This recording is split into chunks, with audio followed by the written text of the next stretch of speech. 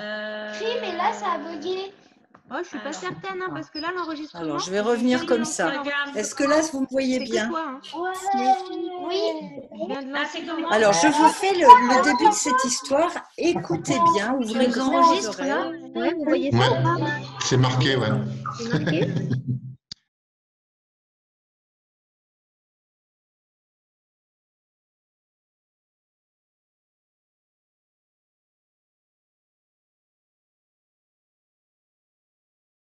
Ça va, Patricia? C'est bon?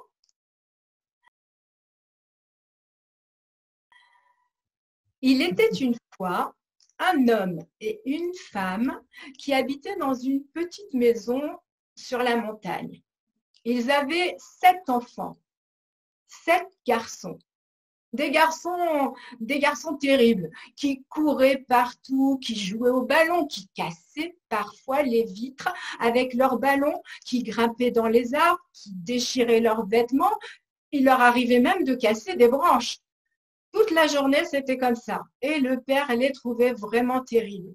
Si bien qu'un jour, quand la maman a vu son ventre gonfler, elle attendait un autre enfant.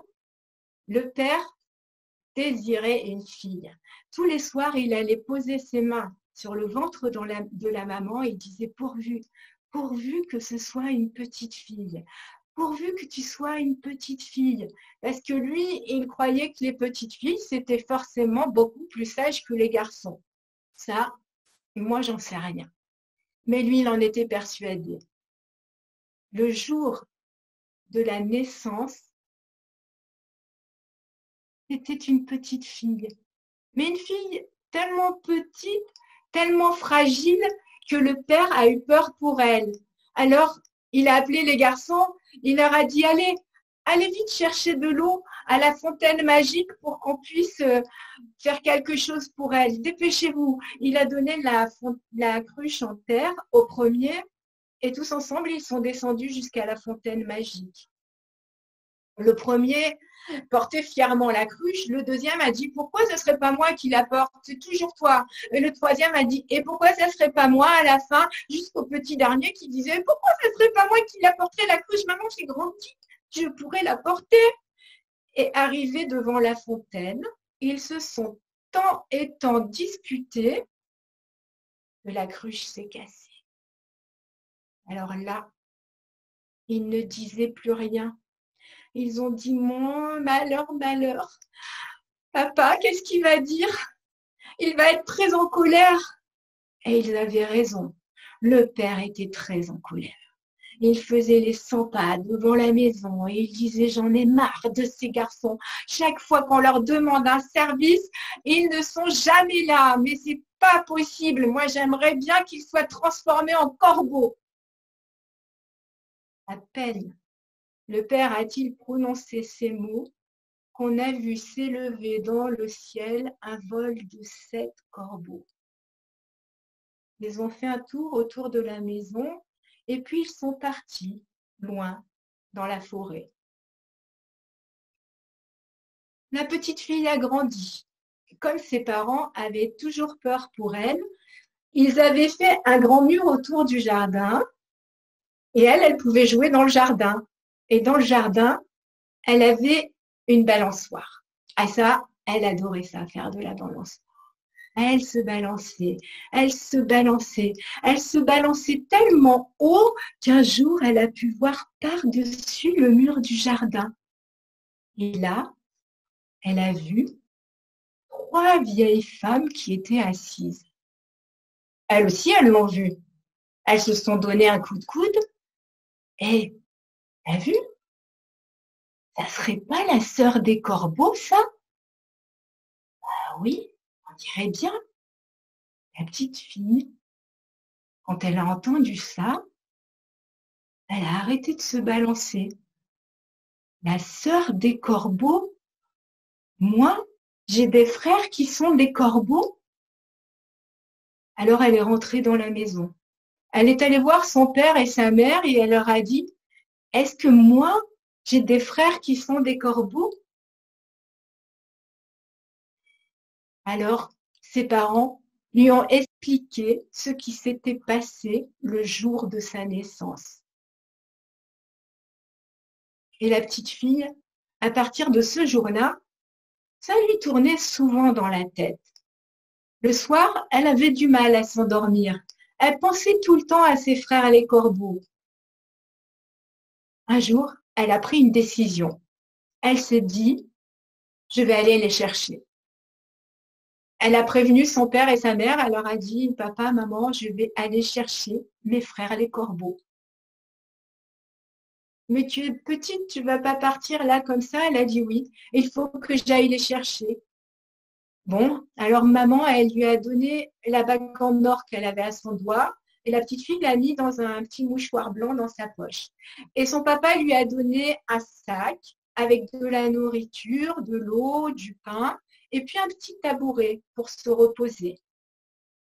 La fille les a remerciés. Elle a dit, ne vous inquiétez pas, je reviendrai avec mes frères. Et elle est partie sur le chemin. Elle a marché. Elle a marché pendant des jours et des jours. Elle a traversé des prairies. Elle a grimpé des montagnes. Elle est descendu dans les vallées. Elle a traversé des rivières. Elle a marché pendant longtemps, longtemps. Et puis un jour, elle est arrivée au bout du monde. Là, il y avait trois chemins. Elle s'est assise sur son petit tabouret. Bon, elle ne savait pas lequel prendre, alors elle s'est dit, je vais prendre euh, le chemin de gauche. Elle est repartie, elle a marché, marché, mais alors là, plus elle avançait, plus il faisait chaud. La terre était craquelée, les feuilles étaient recroquevillées, les herbes étaient sèches et elle avait chaud, elle transpirait. Elle a levé la tête et dans le ciel, il y avait le soleil. Le soleil qui la regardait et qui disait, hum, la petite fille, je vais la rôtir et je vais la manger. Manger? Elle n'avait pas du tout envie d'être mangée. Elle, elle allait à la recherche de ses frères, les corbeaux. Alors vite, elle a fait demi-tour et elle a couru, couru, couru, couru, couru. Et elle est arrivée là, au bout du monde, avant que le soleil la rattrape. Bon.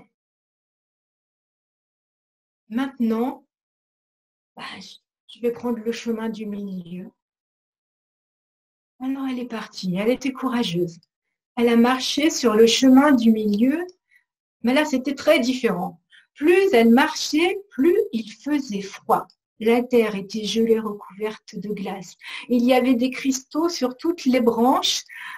Le paysage était blanc, le paysage était froid, elle se serrait dans son manteau, ça glaçait, ça claquait des dents. Alors elle, a regardé le ciel, il y avait la lune, ronde et blanche qui la regardait. Et la lune disait, hum, la petite fille, je vais la transformer en glace, je vais la manger. La question, elle ne voulait pas être mangée par la lune. Elle voulait chercher ses frères, les corbeaux. Alors elle a couru, couru, couru, couru, couru, couru, couru, couru. Et elle est arrivée là, au bout du monde. Elle était très courageuse. Après s'être reposée un petit moment, elle a décidé de prendre le troisième chemin. Et là, ah, c'était bien, c'était agréable, c'était le chemin des étoiles. Et les étoiles l'ont guidée jusqu'à la reine des étoiles. Quand elle est arrivée devant la reine des étoiles, la reine des étoiles lui a dit Bonjour, petite. Que tu fais si loin de chez toi? Elle a dit Moi, je vais à la recherche de mes frères les corbeaux. Peut-être que tu sais où ils habitent. La reine des étoiles lui a dit oui. Je sais où ils habitent. Mais là, tu vas te reposer. Dors bien. Demain matin, je t'expliquerai le chemin. Et la petite fille, au milieu des étoiles, s'est endormie.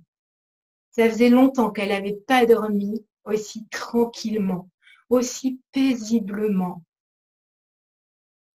Quand elle s'est réveillée le matin, dans le ciel, il n'y avait plus qu'une étoile, la reine des étoiles. Elle lui a dit bonjour, tu as bien dormi? La petite fille a acquiescé. Maintenant, je vais aller chercher mon frère. Hop, je vais chercher mes frères. Et elle lui a dit, voilà, tu peux prendre ce chemin-là. Si tu marches euh, un bon moment, tu vas y arriver. Ils habitent dans une grande montagne de cristal. Tu verras, c'est facile à trouver.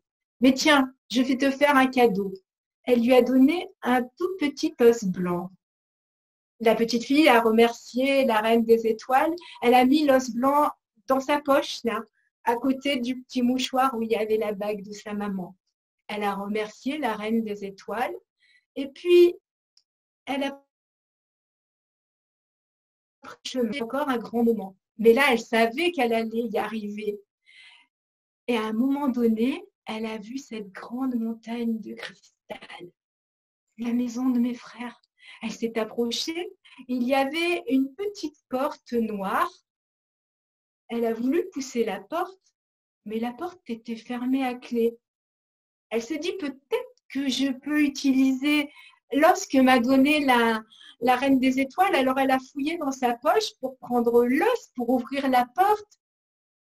Mais elle avait perdu l'os. Oh non, elle s'est dit, c'est pas bien ça. J'ai fait tout ce main pour trouver la maison de mes frères et je ne peux pas rentrer dedans. Alors elle a fouillé dans son sac où elle avait un petit couteau et là, elle a coupé son petit doigt et il rentrait exactement dans la serrure. Elle a ouvert la porte la porte s'est ouverte. Elle est arrivée dans un grand couloir, tout sombre. Et puis là-bas, au bout du couloir, il y avait une grande pièce, tout illuminée. Dans cette pièce, il y avait une table. Et à cette table, un nain qui était en train de déposer sept assiettes, sept verres, sept couverts. Elle a dit bonjour, est-ce que c'est la maison des sept corbeaux? Et le nain a dit oui, ils ne vont pas tarder à rentrer. Alors, comme elle avait faim, elle a mangé un peu dans chaque assiette. Et comme elle avait soif, elle a bu une goutte dans chaque verre. Mais dans le dernier verre là-bas, au bout de la table, elle a déposé la bague en or que lui avait donnée sa maman. Et comme elle était fatiguée, elle s'est mise sous la table et elle s'est endormie. Ce qui l'a réveillée, c'est des bruits d'ailes. C'était les corbeaux qui arrivaient. Ils se sont installés tout autour de la table et mais on dirait que quelqu'un a mangé dans mon assiette, mais dans la mienne aussi. Et quelqu'un a bu dans mon verre. Mais quelqu'un a bu dans le mien aussi. Et là, il y a le plus grand, celui qui était au bout de la table, qui a dit, attendez, regardez ce que j'ai trouvé et à l'intérieur du verre, il a trouvé la bague en or. On dirait la bague de notre maman. Alors la petite fille s'est réveillée, elle s'est approchée et elle les a embrassés. Au fur et à mesure qu'elle les embrassait, les corbeaux se transformaient en garçons. C'est comme ça qu'elle a retrouvé ses sept frères. Ils se sont serrés dans les bras et puis, ils ont mangé, ils ont bu, ils se sont reposés. Et le lendemain, ils sont repartis en direction de la maison de leurs parents. Les parents étaient très contents de, les retrouver et je pense qu'ils sont encore tous ensemble dans cette maison.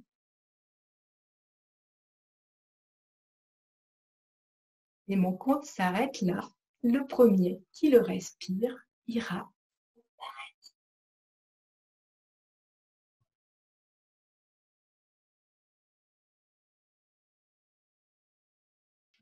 Tu nous enregistres là? Ouais, vous voyez ça ou pas?